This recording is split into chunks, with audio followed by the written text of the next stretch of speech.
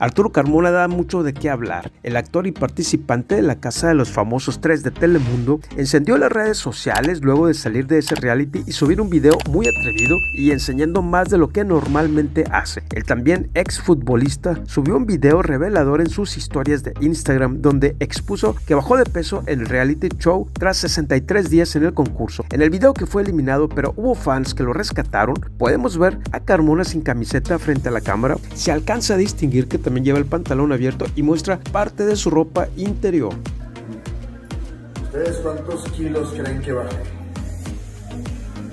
Entré con 86 a la casa. 86.